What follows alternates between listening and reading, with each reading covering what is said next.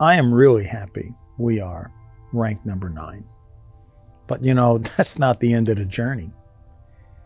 Uh, I really think a great engineering school is measured by its impact.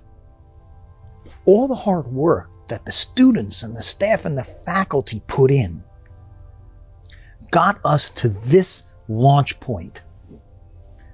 And so I really mean it when I say number nine isn't the end of the line. And uh, I'm not hanging up my gloves and relaxing because what we did was get us, get ourselves an entry ticket to this spectacular, exciting new arena. Now, we have everything we have been doing, we got to keep doing that. And so for everyone around us that works with us and helps us, everyone on the campus, all our industrial constituents, I am doing my best to keep all that ferment churning.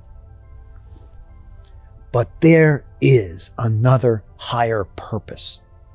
And it's those three things. What is the new holistic education for engineers in the future? What is that incredible innovation system that engineering drives? And the third thing is uh, how can we be part of the national conversation about those things? This is what keeps me truly excited about being the Dean of Engineering here at the Jacobs School.